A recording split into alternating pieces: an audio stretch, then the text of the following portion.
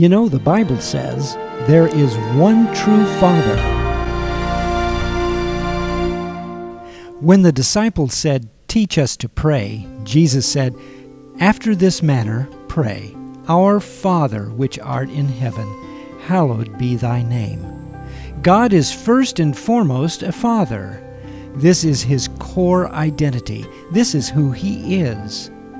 In the Garden of Gethsemane, Jesus, praying to his Father, said, This is eternal life, that they might know you, the only true God, and Jesus Christ, whom you have sent.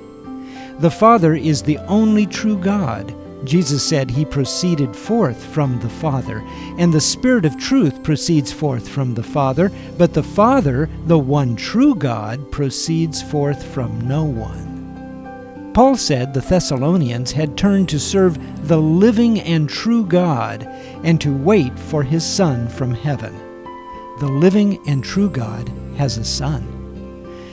Have we not all one Father? Has not one God created us?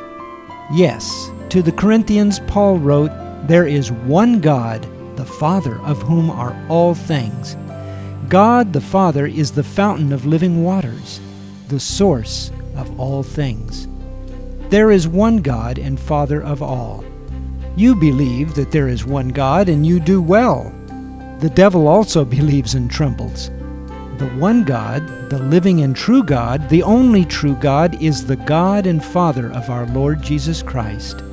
He is the Father of our Lord Jesus Christ, the God of our Lord Jesus Christ, who sent his only begotten Son into the world because every good and perfect gift comes down from the Father of lights, the one true God.